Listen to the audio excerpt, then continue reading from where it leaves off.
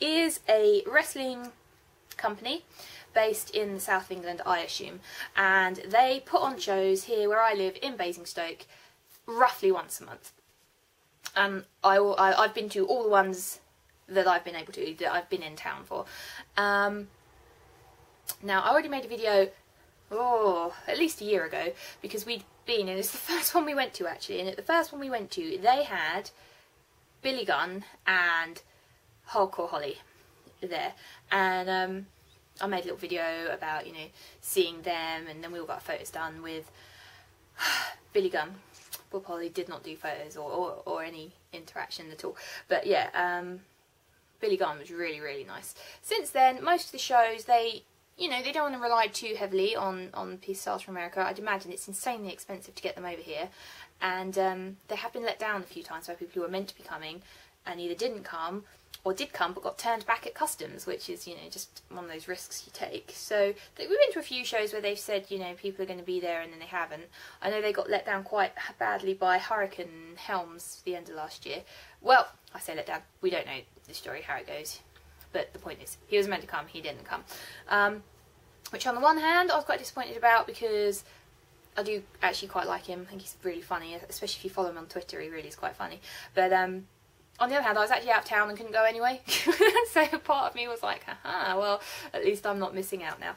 Um, yeah, but more recently, sort of the last few months, the only star from outside of, you know, the BVPW company that they've had was um, Magnus, sorry, forgot his name for a second there. Magnus, who currently wrestles as Magnus in TNA. And yeah, so we got to meet him. Um, he did photos in the ring. He was he was playing a good guy. He came in and you know beat up all the bad guys, and um, he's really good, really really good, and he's really nice. And he did photos in the ring for a couple of quid, and he right. This is observation number one. He's quite tall.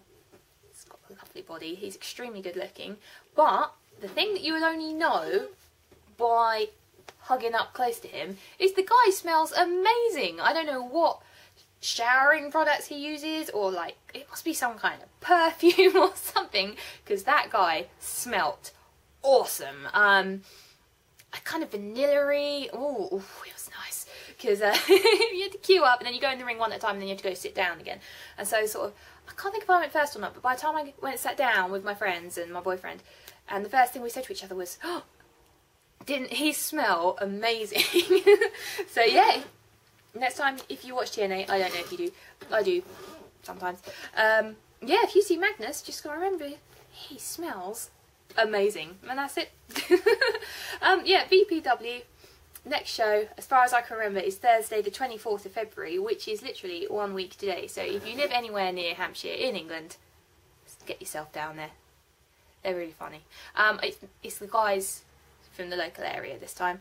Um, local hero is Rob Holte, he's from Basingstoke. He's really cool, we like him. There's a young guy called Jake McClusky who's really good. Um, I've really appreciated how much better he has got. Not that he was bad to start with, but over the year I've been going, he is really getting it now. He's really good. Um, he's the one that appeals to the little girls. My boyfriend's daughter is just madly in love with him.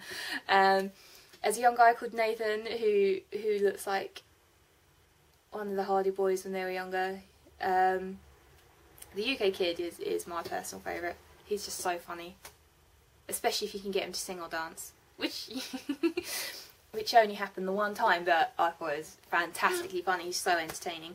Um, but yeah, last month there was a really big fat guy with the physique of a beach ball who was being evil and he squashed poor little Jake, my boyfriend's daughter. Freya, you may have seen her on some of my videos. She was distraught on the verge of crying because poor Jake got crushed by the big fat man. Um, and then at the end of the show, the big fat man also crushed Rob Holte from Basingstoke.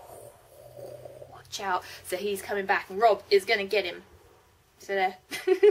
as long as he doesn't get squashed like a pancake under the fat man.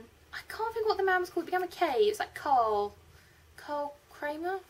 Can't remember. It's a good show. You should come. If not, they go to Portsmouth. They go to other places. And I'm bigging them up, so they better like this video. I'll talk to you soon. Bye!